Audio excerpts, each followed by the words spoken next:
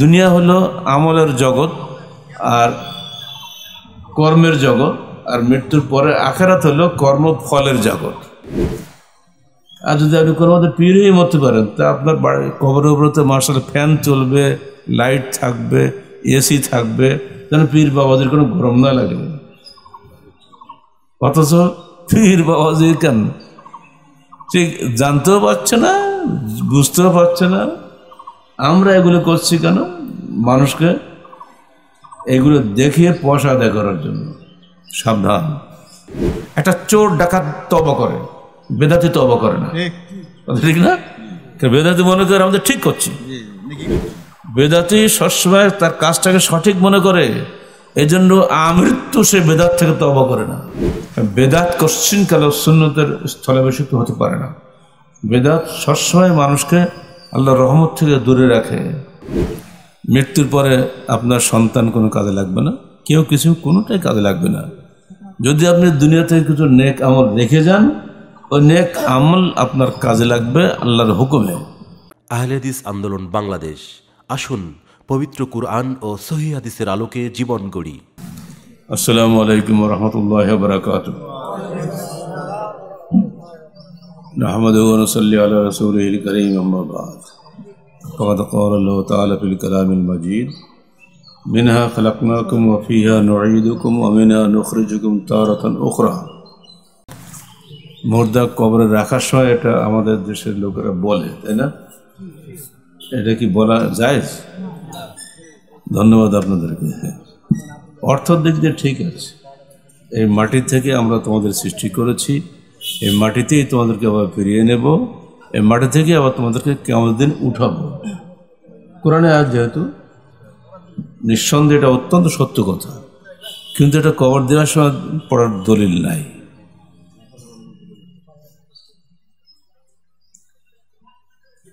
ধরে নিন এই মুহূর্তে আমাদের মৃত্যু হয়ে গেছে। আমরা কবরে গেছি। আপনারা সবাই বাড়ি চলে গেলেন।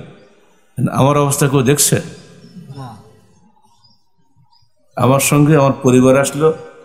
আমার অর্থ সম্পদ দিয়ে যে খরচ করতে হয়েছে কাপড় কাপড় কিনতে হয়েছে বাঁশ কিনতে হয়েছে এই মালও চলে গেল। আমি গেলাম কবরে। আমার অবস্থা কিন্তু কেউই জানে না। এই এলাকায় এসে একটা ভালো কথা শিখলাম আজকে যে মাটির বাড়িতে নেটওয়ার্ক প্রবেশ করে না। ঠিক তো? তো কবরে কি নেটওয়ার্ক ঢুকবে? ও তো মাটি।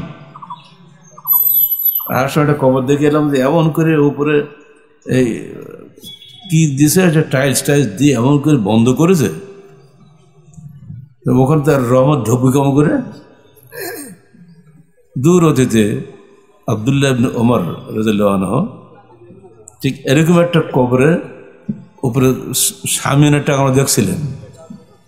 তো কবরওয়ালাকে ডেকে বলেছেন, ইয়া আব্দুর রহমান হে আল্লাহর বান্দা। তুমি আল্লাহর রহমত এখানে প্রবেশে তুমি বাধা দিচ্ছ। আল্লাহ রসুলের কবরের উপরে সামিয়ানা টাঙানো হয়নি। আর তুমি সামিয়ানা টাঙাচ্ছ? হঠাৎ? আজকে হঠাৎ করে সে জিনিসটা দেখে অবশ্য হাদিসটা মনে এসে গেল যে সেদিন যা হয়েছিল, আজও তাই হচ্ছে। আর যদি আপনি কোনো মধ্যে পীরই মরতে পারেন, তা আপনার বাড়ি কবরের উপরে তো মার্শাল ফ্যান চলবে, লাইট থাকবে, এসি থাকবে, যেন পীর বাবাদের কোনো গরম না লাগে। অথচ পীর বাবাজি কেন? ঠিক জানতেও পারছে না, বুঝতেও পারছে না। আমরা এগুলো করছি কেন? মানুষকে এগুলো দেখিয়ে পয়সা আদায় করার জন্য। সাবধান। সাবধান এলাকাবাসী। মৃত্যুর পরে আপনার সন্তান কোনো কাজে লাগবে না। কেউ কিছু কোনোটাই কাজে লাগবে না। যদি আপনি দুনিয়া থেকে কিছু নেক আমল রেখে যান, ওই নেক আমল আপনার কাজে লাগবে, আল্লাহর হুকুমে।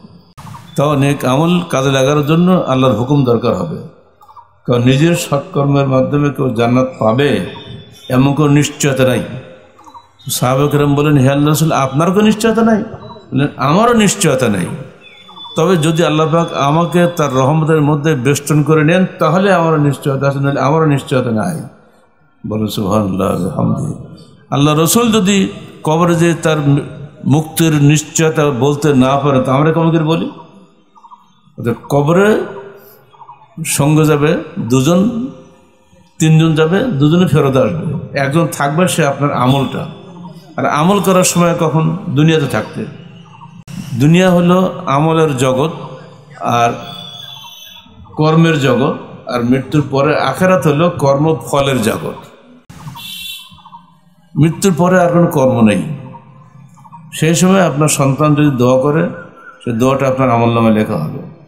কেয়ামতের মাঠে যখন তাকে সবের একবার পাহাড় দেওয়া হবে, তো বাবা বলবে, হে আল্লাহ, আমি তো এত নেকির কাজ দুনিয়া করি না। আমি মূর্খ, সূর্খ মানুষ, কি এত করি? এত নাকি কি করে হলো? বলে, এগুলো তোমার সন্তানের দোয়া। সেগুলো এখানে জমা হয়েছে তোমার জন্য। বলবেন রব্বের হাম হুমা বলুন তো, কামা রব্বাইয়ানি সাকির এই দোয়াটা ডেলি পড়তে ভুল করবেন না।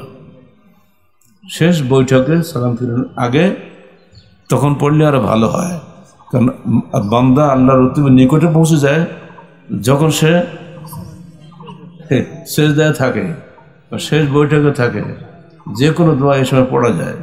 রব্বের হামহুমা কামা রব্বাইয়ানি সাবির আরেকটা হলো কি, আপনার সাতকা জারিয়া করা। মাওলানা ইবনি মহল সাহেবের কাছে আমার শেষ বক্তব্য আপনার শুনেছেন, চক উলি, বগুড়ার ডেমাজানিতে উনিশশো চুরাশিতে আমি উনিশশো একসঙ্গে ছিলাম। উনিশশো দিনে এক পর্যায়ে বলে ফেলেছেন, সাদাকা জারিয়া আপনারা সবাই জানেন, গুনাহে জারিয়া কি আপনারা জানেন? কথাটা আমি আজও ভুলিনি। এমন কোনো কাজ করবেন না, যে কাজ করলে সবাই তার অনুসরণ করে। তো ওই প্রথম লোকটা যে গুনাহের কাজ করেছে পরে যত লোক ওই গুনাহের কাজ করবে সমস্ত গুনার ওই লোকটা ঘাড়ে চাপবে। এটা হলো গুনাহে জারি এই শব্দটা কিন্তু আমি জানতাম না। ও সাতকা জারিয়া জানি। ইবনে ফজল সাহেব কাল্লাহ আখরাতে মুক্তিদান করুন। আমিন। উনি এই কথা বলে গোনাহে জারিয়া ডেমাজানের কনফারেন্সে সেদিন আমার সঙ্গে তার আরেকটা ঘটনা আছে। শেষ বয়সে উনি অসুস্থ হয়ে পড়েছিলেন। মানুষ তো বক্তৃতা করতে গেলে হয়তো কিছু হাদিয়া তো পাওয়া যায় আর বক্তৃতা করতে পারেন না হাদিয়া তো পায় না। তো উনি কবিরাজে শিখছিলেন। উনি যেখানে যেতেন ওই কবিরাজের অ্যাডভার্টাইজ করতেন। তো আমি সেখানে তখন তো আমরা তিন চার ঘণ্টার নিচে বক্তৃতা হতেন আমাদের। জন মানুষ তো। উনি আমাকে বললেন বাবা ভাই গালেব এদেশ আগামী দিনে তোমার জন্য অপেক্ষা করছে। আমরা যাওয়ার পথে। আমার একটা উপদেশ নাও। আমি কি বলো? যে তুমি চেয়ারে বসে বক্তৃতা করবা, আর দেড় ঘণ্টা বেশি কথা বলবে না। দেড় ঘণ্টা তো আমার শুরুই হয়, গরম হতে লাগে দেড় ঘণ্টা। ইয়া এত কম বললে হয়? তো না, এখন জোশ আছে, পরে ঠেলা বুঝতে পারবে। তো এই যে ছোট্ট ছোট্ট উপদেশ এসব মুরব্বীদের দেওয়া, এখন মনে হচ্ছে যে এই বিপদ সাহেব ছিলেন এগারো ঘণ্টার বক্তা। বাগেরহাটের ফেরি পার হয়ে ওখানে আমাদের আহলেসের নয়টা গ্রাম আছে। শীতকালে মগরের পড়ে শুরু করেছে না ফজর পড়ে ফজর আদানের শেষ করেছে। পুরো এগারো ঘণ্টার বক্তা আছে আবদুল্লাহ ফজল সাহেব। সেই মানুষটা মৃত্যুর আগে বসে বসে অল্প স্বল্প কিছু বলে বিদায় হয়ে যেতেন আর পারতেন না। তাই উনি আমাকে বলেছিলেন বাবা কোনো দিন ওই দেড় ঘণ্টা বেশি বক্তৃতা করব না আর চেয়ারে বসে বক্তব্য রেখো, পেটে গ্যাস হবে না। আমি মরেছি, তোমাকে মারতে দিতে চাই না। কথা বলছেন? এ ছোট্ট ছোট্ট উপদেশ ভোলার মতো নয়। আপনাদেরকে বলে যাচ্ছি, দুনিয়া থেকে পরকালের পাথর সঞ্চয় করেন।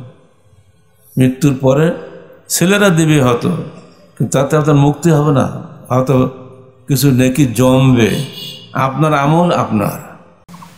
সবচেয়ে বিচক্ষণ ব্যক্তিকে আল্লাহ রসুল কাছে একজন আনসার ব্যক্তি বলছে, হে আল্লাহ রসুল সবচেয়ে ভালো মানুষকে উনি বলেন যিনি সচ্চরিত্রবান, তিনি সবচেয়ে ভালো মানুষ। আমরা তো তাই বলি, তাই না?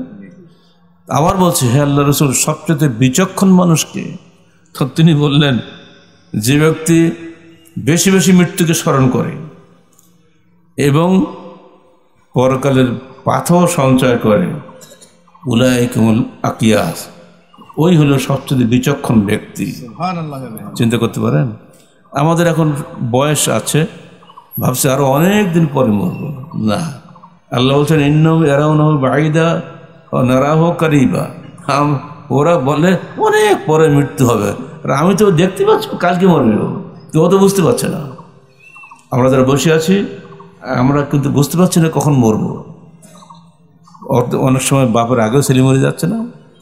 অত মৃত্যু যে কোনো সময় এসে যেতে পারে। অত যতটুকু সুযোগ আমরা পাই ততটুকু পরকালীন পাথর সঞ্চয় করার জন্য চেষ্টা করি। এই যে দাওয়াত দিচ্ছে আপনাদের কাছে এটা নেকি আমি পাবো না। আপনারা এসে বসেছেন আপনারা নেকি পাবেন না। যারা এর জন্য পয়সা খরচ করে তারা নেকি পাবেন না। এটা কিন্তু আজকে আপনি মাঠে কান্দা খাটে যত টাকা পেতেন তার চেয়ে অনেক অনেক গুণ বেশি নেকি আপনার হয়ে গেলে ঘরে বসে। এই কিন্তু শহীদুল দৌড়িয়ে গিয়ে হুন্ডাটা সরাই দিচ্ছে। আমার ড্রাইভার বলছে, স্যার, দেখছেন? মুরব্বী মানুষের দূরদর্শিতা কেমন?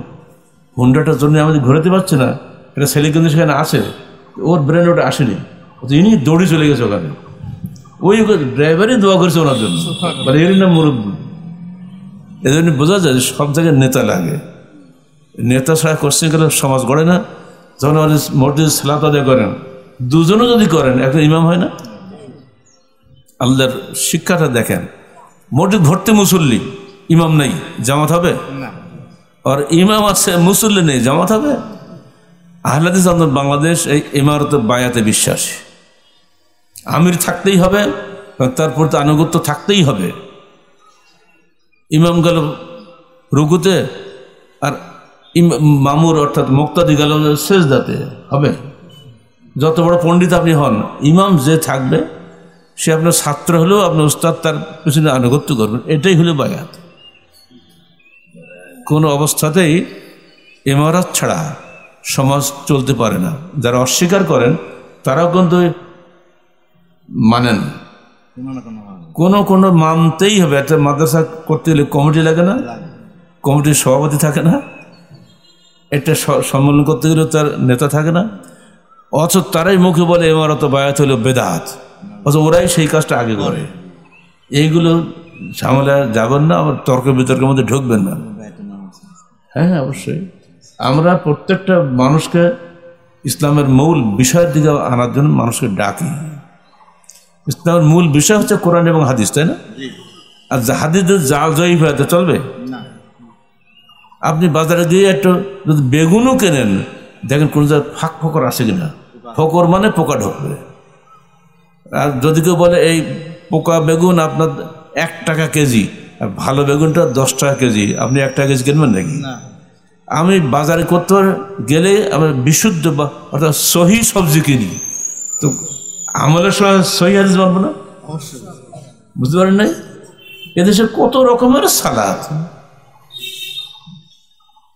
না এত গোলমাল নেই। আমরা এক কথা বলে দিয়েছি। পবিত্র কোরআন ও সহি হাদিসের আলোকে আসুন, পবিত্র কোরআন ও সহি হাদিসের আলোকে জীবন গড়িবে কত চমৎকার কথা না? এর আপনারা আমাদের তবলিগ ইসলামে গেছিলেন? রাজশাহী গেছিলেন তো? ইনশাল্লাহ বলতে হয় না। আলহামদুলিল্লাহ বলতে হয়। ইনশাল্লাহ মানে আগামীতে যাব। কথা বলছেন? এই কারাগারে বসে ইনশাল্লাহ ব্যাখ্যা বুঝাতে পুরা তিন বছর সময় গেছে আমার। যখন সেখানে যাই স্যার ভালো আছেন? ইনশাল্লাহ ভালো বলে, বাবা ভালো তো আছিস কিনা? বল ভালো আছে আলহামদুলিল্লাহ। তো আলহামদুলিল্লাহ ইনশাল্লাহ ফারাকে অনেকে বুঝে না। ইনশাল্লাহ যদি আল্লাহ চান। আমার দুই বছর দুজন মানুষ বসা ছিল খেয়াল করেছিলেন? রাজশাহী তবলিগ এবারে কথা বলছি। তা আমার ডান ভাষা যিনি ছিলেন উনি তার সংক্ষিপ্ত ভাষণে কি বলেছিলেন? উনি এর আগে কাশিমপুর কারাগারে ছিলেন। দুই বছর ধরে সেখানে মুফতির কাছে উনি প্রশ্ন করেছেন মুসলমানদের মধ্যে এত দলাদলি কেন? এ হাম্পি সাবি মালিকি হাম্বলি শিয়া সন্নি কি সব? এগুলি কেন? উনি তো ব্যবসায়ী মানুষ উনি এত এত ফাঁক বই পড়বে কখন? তো ব্যবসা নিয়ে ব্যস্ত তা পঁচাত্তর হাজার কর্মী খালি। সোমানারা বলবেন না? ওষুধ খান না ভ্যাকসিন করে ওষুধ খান না? ওনার ভ্যাকসিন করে লুঙ্গি সবই ওনার। ওই সামাল দেবেন না আপনার এই হাদিস করে পড়ি বেড়াবে হুজুর রাজা বলে তাই? আমার সঙ্গে মাত্র ছয় দিন সাত রাত দেখা হয়েছে। হ্যাঁ হ্যাঁ, তাতে ওনার ওনার উনি বললেন সংক্ষিপ্তভাবে আমি ঠিক একই প্রশ্ন করলাম এখানে ওনার কাছে। উনি সিম্পল একটা জবাব দিলেন। এই সিম্পল ভাষাটা কিন্তু ওনারই। কেন? সহি হাদিস মানে সব শেষ কোনো গোলমাল নেই। বারে দুই বছর ধরে মুক্তি সাহেব আমাকে বুঝাইলে বুঝলাম না। আরে এই করে এক মিনিটে উত্তর হয়ে গেল। ওইটা ওনার মনে এমন দাগ কেটেছে তখন থেকে শহীদ তরিকা রহমদানকে সালাত আদায় করে আমাদের সে উনি ভালো সালাত আদায় করেন। ওই মহব্বতেই কিন্তু নিজে হেলিকপ্টার নিয়ে ভাড়া করে চলে আসছে ইস্তেমায় এই এইসব মানুষগুলি কত সহজ আপনার কাছে আসছে নাকি? সিম্পল একটা জব আমরা দিয়েছিলাম সেদিন।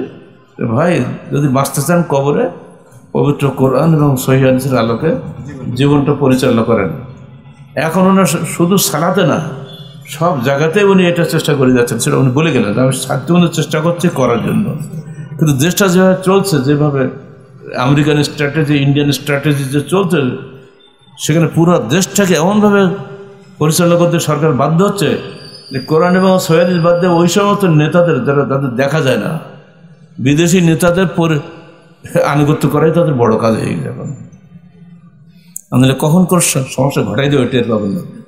যাই হোক, আপনাদের কাছে আমাদের একটাই দাবি থাকবে, মৃত্যুর আগেই মৃত্যুর পরবর্তী জীবনের জন্য পাথর সঞ্চয় করুন। আর সেই পাথর যেন অবশ্যই পবিত্র কোরআন ও সৈহাদিস অনুযায়ী সত্যিকারের পাথর হয়। জাল এবং জৈব দিয়ে কাজ হবে না, বেদাত কশ্চিন কাল সুন্নতের স্থলাভিষিক্ত হতে পারে না। বেদাত সবসময় মানুষকে আল্লাহ রহমত থেকে দূরে রাখে। আর সবচেয়ে বড় সমস্যা হলে একটা চোর ডাকাত তবা করে বেদাতি তবা করে না। ঠিক না? বেদাতি মনে করে আমাদের ঠিক করছি। বেদাতি সবসময় তার কাজটাকে সঠিক মনে করে এই জন্য আমৃত্যু সে বেদাত থেকে তবা করে না। কিন্তু একটা চোর ডাকাচ্ছে জানে কাজটা অন্যায় করছে। তাকে উপদেশ দিলে সে তবা করে। আল্লাহ পাক তার তবা কবুল করেন। বেদাতির তবা কশ্চিন করে কবুল হবে না। অতএব শিরিক এবং বেদাত থেকে দূরে থাকুন। শিরিক কোনটা? উনি বলবে এটা শিরিক আমি বলবে এটা শিরিক না। শিরিক সেটাই যেটা করেন হাদিস আছে ওটাই শিরিক। সার্বিক জীবনে পবিত্র কোরআন ও সহিয়াসের আলোকে আমল যদি আমরা করতে পারি ইনশাল্লাহ এই আমলটাই মৃত্যুর পরে আমাদের কাজে লাগবে। এই আমলই আমাদেরকে জান্নাতে নিয়ে যাবে ইনশাআল্লাহ। আল্লাহর যদি রহমত হয়। আমি আপনাদের কাছে একটুকু বলে শেষ করছি। ঘড়ি আমার সামনে, আমার অনুমতি দিয়ে আছে এর বেশি যাওয়া যাবে না। তো আপনারা দোয়া করবেন আল্লাহ আমাদেরকে আরও কথা বলার তৌফিক দান করেন। আসসালামু আলাইকুম রহমতুল্লাহ।